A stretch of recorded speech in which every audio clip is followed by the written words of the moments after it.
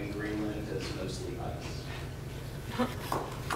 Um, The trip to- from Pittsburgh to Reykjavik was 2,804 miles. It's Pittsburgh was Reykjavik. We passed, uh, passed the southernmost tip of Greenland. We didn't really see it from the airplane, but we did pass past it. It's very windy in Iceland. And Very dark. No, um, it was very cold and very windy in Iceland. That's my friend Wes. Pulling a crank. That sign means no sitting sideways. Yes. This is the famous Strokkur geyser.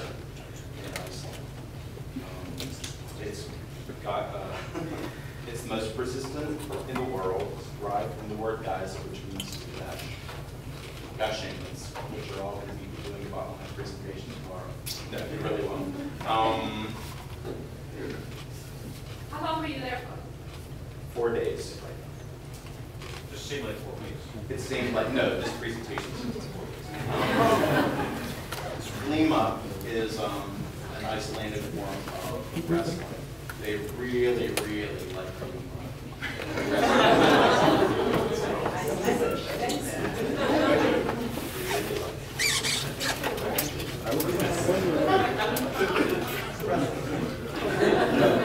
Yes, the witch.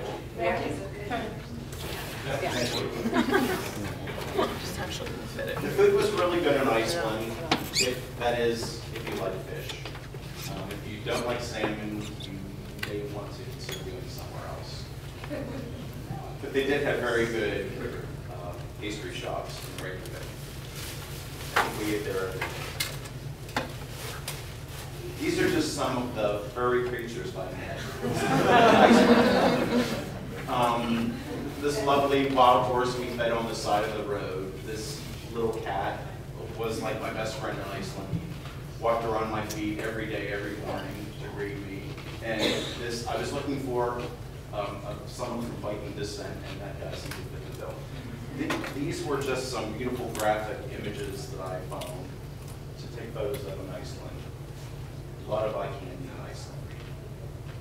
Um, You can't bring any horses to Iceland. Um, These are some of the pieces of artwork that we saw in Iceland. Iceland has a great graffiti park where building after building, completely graffiti. We have um, an example of life imitating art in the Emerald King my friend Doug. Do you feel like you belong there? I felt like I belonged there, yeah. Well, you know, this is a very typical uh, scene for people to have their photos taken along the. Looks like a magazine cover.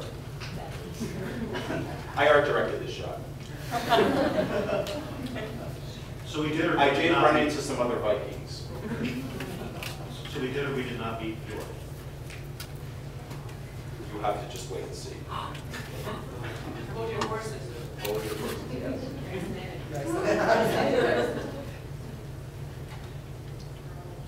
This is just a shot at night of a geothermal power plant.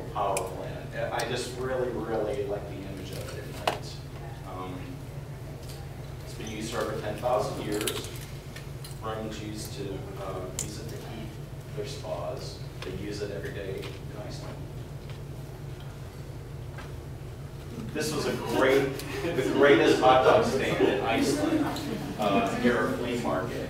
And if you go to Franktuary in Lawrenceville, they have created uh, a hot dog called uh, Icelandic, which is a replica of this particular hot dog. Crunchy fried onions on the bottom, signature. The Icelandic landscape is beautiful. It's a lot of beautiful volcanic rock covered in moss and lichens and everywhere, everything is covered in moss and lichens. I mean, it's just beautiful. It looks like, everywhere you turn looks like a movie set.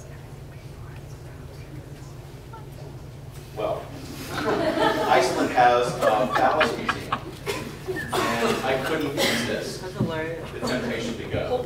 In the upper left-hand corner, you have casting of the entire 2008 Beijing silver medal.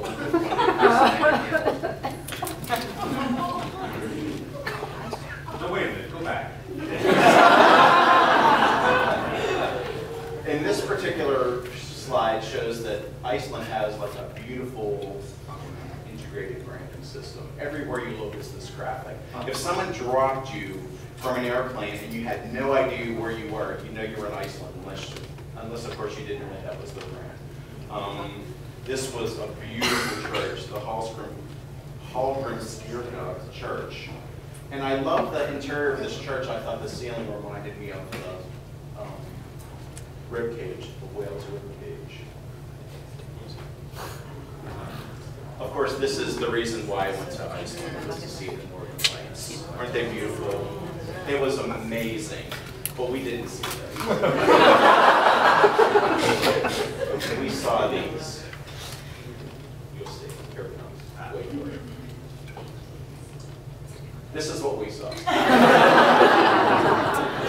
We drove about an hour and a half outside of the city to the most remote, dark place that we could find, and this is what we saw. It's very much like The piece at the Mattress Factory by James Turrell. You go in, and if you were to sit in this chair for 10 hours, you would see a little light on the horizon. And that was my trip to Iceland.